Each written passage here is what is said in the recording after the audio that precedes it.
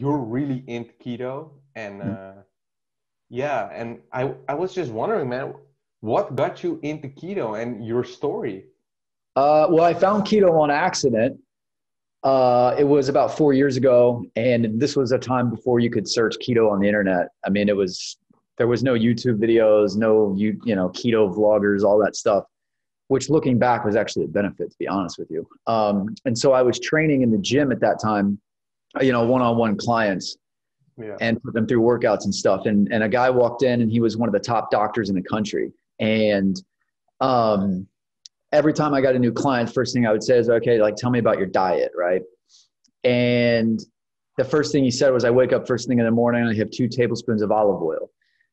And at that point, I was like, dude, bro, you, you're one of the top doctors in the country, and you're telling me you're eating two tablespoons of fat, basically. And I'm like, you're crazy you know uh, but it really i didn't say that because you don't just say that. You kind of have to sit there and be like okay what's the reason? He explained the reason and all that stuff and it went against everything i knew. I thought fat was bad it was going to kill you and all that stuff calories and all that stuff and i'm like but i sat back and i listened to him and things and then that led into an opportunity because he was working in a mental health facility uh, in atlanta georgia at the time. He was the chief medical officer and um, this is a place where there's um, kids between 18 and 24 years old who suffer from severe mental illness, schizophrenia, bipolar. Uh, many of them have tried to commit suicide, and they all come from all across the United States into this rehab mental health facility, and they live there and they they they they go through all that stuff there. Um, the one thing they all had in common is they took a medication that made them gain like 30 pounds in like a month and a half.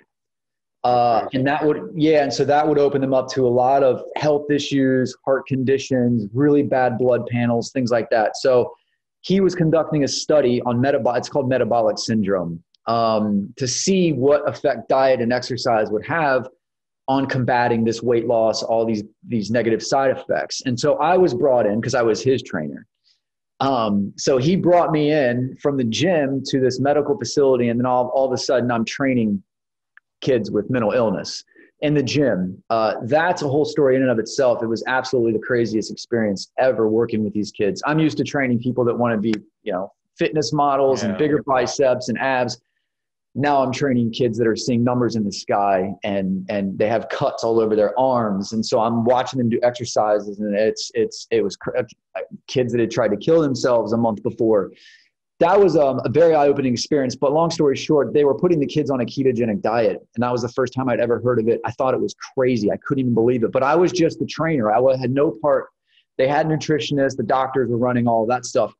And so i just kind of kept an eye on what they were doing and learned as much as i could. And um, and then i became a believer because at the end of the study through the diet and exercise they were projected to save 10 years off their life the mental health benefits were incredible, but I had learned about and discovered the ketogenic diet. And so I tried it myself, found incredible results myself. I think Um, in the like the fitness industry, it wasn't that known, right? Oh, no, no, no, no, no. Nobody knew about it. It was, and I, to be honest with you, I wanted to keep it a secret, and I did for a few months because at that time I was very into competitive uh, competitions, and um, I felt like I found the holy grail. Like to be able to lose weight, get shredded without losing muscle, and have energy is like every bodybuilder cuts carbs, right? When it comes to getting really, really shredded for shows, your energy goes down the tank. Most bodybuilders, and they still don't increase the fat because every bodybuilder at that time was afraid of increasing fat. So you just feel like death uh, weeks leading up to a show, and it's something you can't maintain. But I was like, now all of a sudden able to cut the carbs and replace it with fat. And I had totally shifted my mind. I was a believer in it and it worked. So I was able to come into shows very, very lean, very shredded, but still have all the muscle that I spent, um, you know, in the off season building. So I didn't want to really say anything to people because I, I was just like, you know, it's a huge competitive, a huge competitive advantage. Yeah. But then I started putting my training clients on it. They started losing rapid weight very, very fast.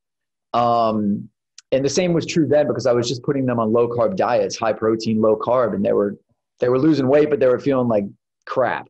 Um, then I switched them over to keto, and it was a whole new world. And then I made one video on YouTube, and at the time, um, I didn't even want to be a YouTuber. I didn't even. My wife was like eight months pregnant, and I'm like, I just flipped on a camera, gave it a savvy title secret to losing weight with the ketogenic diet um, I still no remember edits, that video. No That's the edits. reason I got into keto. yeah, no, I didn't know what the hell I was doing, bro. I was like, here we go. I just pressed record and spit it out. No edits, no fancy nothing in that video. It got millions of views, and uh, a lot of people like you, you know, found the diet that way. A lot of people still to this day comment on the video and say how much has changed their life. It's just uh, it opened their mind, you know, because a lot of people have tried everything in the world, and then here's some crazy guy like me saying, "Try this."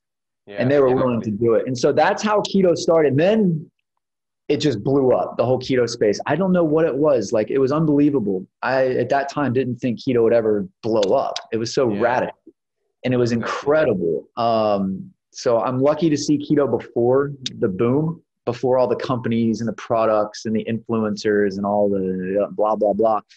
Um, and so it's been a wild ride. Yeah, for me it was like when I started. Uh, I can still remember that was the first time I dropped weight like like mm-hmm. that because yeah. before I was just eating healthy. I was yeah. like eating healthy like yeah. five days a week. Uh-huh. And the other two days I had like a massive cheat day. And I was thinking by myself like, why am I not losing weight? What is happening here? You yeah. And then I tried keto and that was like the first time I told myself because you said uh, like a long time ago, it's like you have to get through the keto flu first.